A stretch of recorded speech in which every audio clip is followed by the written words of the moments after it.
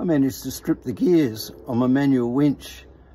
I was doing something that it wasn't designed to do. I was trying to drag the bogie forward. Dyneema cable is very strong, so rather than break the cable, it stripped the gears.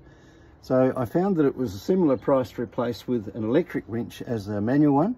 And this one from Atlantic, uh, Atlantic winches I bought from Anaconda and I just took the cover off it just to check on what's going on inside there and it looks pretty straightforward just the single speed with a manual override.